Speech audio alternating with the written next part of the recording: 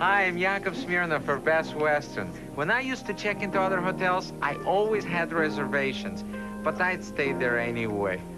Now with Best Western, I have so many different choices. I can always get and pay for only what I need. Like they just asked me in my room, would I like a king or a queen?